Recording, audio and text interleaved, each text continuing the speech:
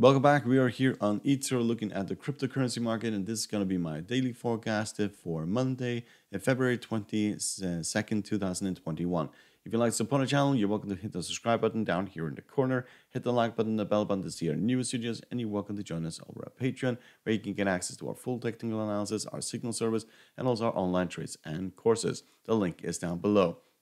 So, we'll start by looking at Bitcoin, and as you can see, the, most of the cryptocurrency market has been rallying significantly in the weekend. We'll start by looking at the daily chart for, for Bitcoin. And as you can see, we're getting close to 60,000. So, yes, this is again getting very, very parabolical. And uh, to be fair honest, I don't really like this move that the cryptocurrency market is uh, doing at the moment.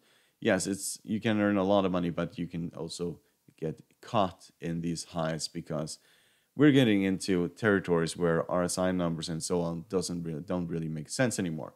I think we're, we're seeing this growth because people, well, the growth people want to get into the action, so just just buying and not considering that most of these cryptocurrencies are so overbought, overstretched at this point that it's technically like buying into GameStop when it was basically at its peak in the in the in that rally.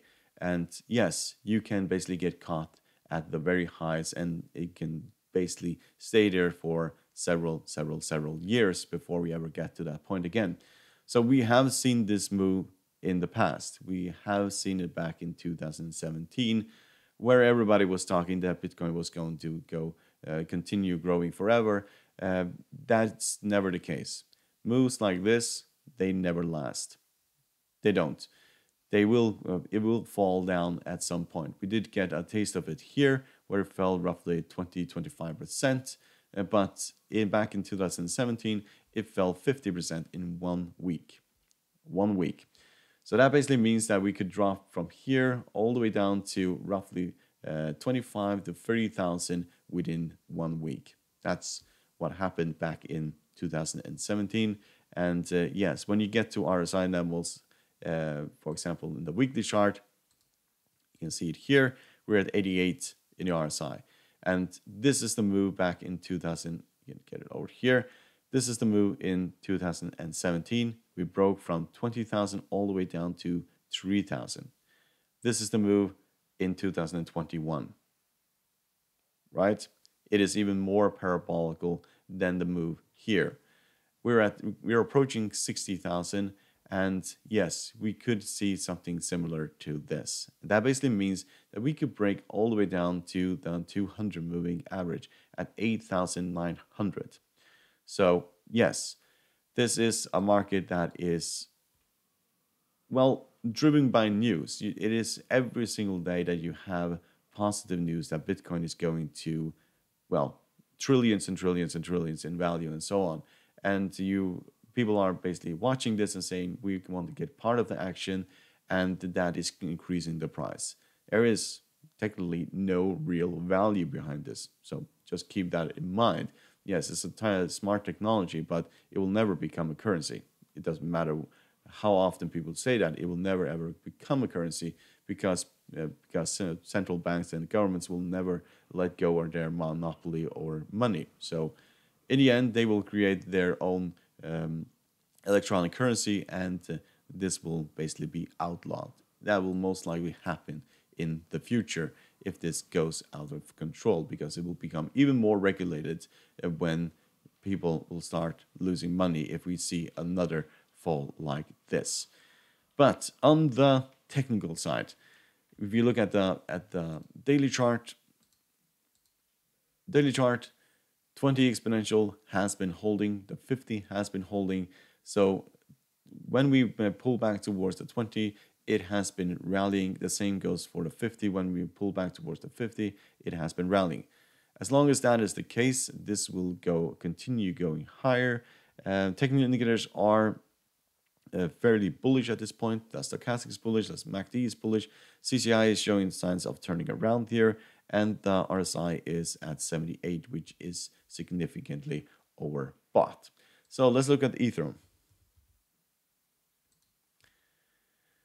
So we did see a quite a big fall here towards the 20 exponential at 1800 and then it rallied again. Technical indicators are turning around for for this cryptocurrency. We are underneath uh, 75, but not the 79, 70. If we look at the weekly chart, we can see that we're above 90. So if I remember right, Bitcoin, when it fell on in 2017, it was at 93 as well, 94, 93, around this area here, when it basically had this massive breakdown. We can also see where Ether was back in 2017. It was also it was basically lower than that. It was at 80, give or take 84 when we had this fall. So it rallied up towards uh, 1416 and fell all the way down to 72. Yes, that happened in a span of roughly roughly a year from 2018, beginning of 2018 to the end of uh, 2018. So, yes, yes, fairly similar moves here. I would not be surprised if we see a complete collapse of these markets and so on, because it is, as I said, probably most likely news that is a, a, positive news and people wanting to get into the action that is driving these markets to higher levels. It doesn't make any sense that we have over 2004 uh, or well thousands of cryptocurrencies. That doesn't really make any sense. Some of these probably will, will survive in the long run um, and then you technically also even doubt that but we did break 2000 that was um, um, uh, big target for for this uh, cryptocurrency, uh, but we have started falling down and will probably fall towards the 20 exponential. In the in the past, that has been how this has been behaving. Pulling back to the 50, that is all the way back here in uh, in December, but otherwise the 20 exponential has been very supported in this market. So let's look at ADA. Yes, so this went completely parabolical on on Saturday. We went from 0 0.8089 all the way up to 1.15. And uh, we rallied again a little bit on, on Sunday and on uh, this morning, or we went to 1.17, and now we're back at roughly 1.01. So one uh, one dollar is basically looks like it's holding. That's also you know, close to the previous highs here. Technical indicators, they are, well, fairly bullish still. MACD is bullish, the stochastic is bullish, the CCI is bullish. We're at 82 in the in the in the RSI. So yes, that is very significantly overbought for the daily chart. So if you look at the weekly chart, yes, I don't have to say anything more than this. We're at the 94 here in the in the RSI. These moves they just can't last forever. It doesn't really matter what it is, if it's Apple stock or Google stock or and so on. Everything that basically moves in the web goes basically um, uh, vertical. Uh, it tends to have a similar downfall. So we can look at, the, for example, Fibonacci retracements for this. That just seems, if we were to fall towards the Fibonacci retracement levels, the first one is here, 0.73. Next one is here, it's 59. And the third one is here at uh, 46. And uh, yes, if these markets start to tumble, that is probably where we are going. That's also previous highs over here. And um, that is also where we find the 20 exponential and the 50 is going to move in this direction. So let's look at uh, Litecoin.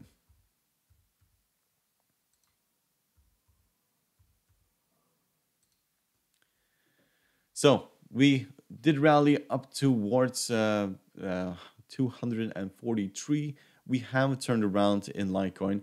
We're most likely going back towards uh, 200 as it looks like here. We're going to turn around here, go back to 200, tested that 200, uh, that 20 exponential moving average. You see the technical indicators, they are all turning around. We're at 67 here in the RSI it is a cryptocurrency that is not as parabolical as most of the others are. Like uh, you can just uh, BNB and and uh, other cryptocurrencies that are uh, growing 300% in a month and so on.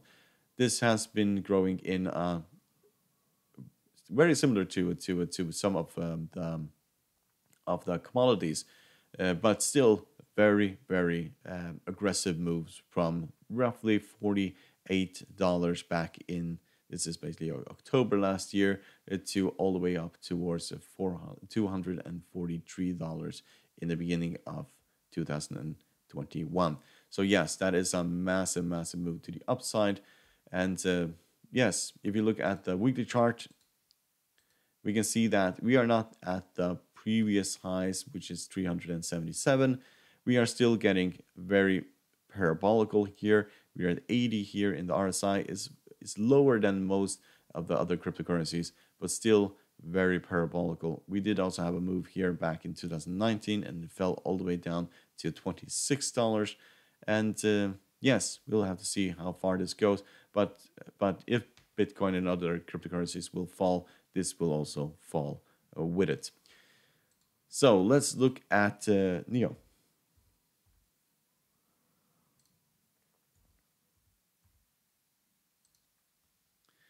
So as you can see, we rallied all the way up towards uh, $53 and then, well, we also broke down towards uh, 40, uh, 40, um, uh, $41. So this has been basically all over the place in the weekend. We are mostly targeting these previous highs in the in the in the past back over here, back over here. That's roughly at the fifty-six dollars. We are far away from the all-time highs here at 144 um, dollars for this cryptocurrency, but we are also getting very very overstretched. We're at 84 in the RSI. Technical indicators in the weekly chart are still bullish. If you look at the daily chart, they are also bullish here, but the CCI is becoming basically flat at this point. Um, yes, pullbacks towards the 20 exponential, that is has proven to be uh, very supported. And even if you go towards the 50 all the way down to $27, that is also going to be massive support at this point. So let's look at Tron. So we did also rally on on uh, Friday, and also we broke down, started breakdown on Saturday, and on Sunday we did break all the way down towards 0.05, and then we rallied again. So this is a very bullish candlestick. So there is uh, the 20 exponential right underneath here. We are every time we get basically close to that, it tends to rally.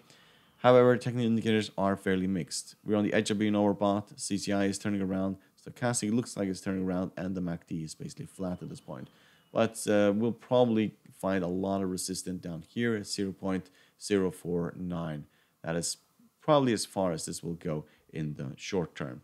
The long-term target probably will be 0.07. So, yes.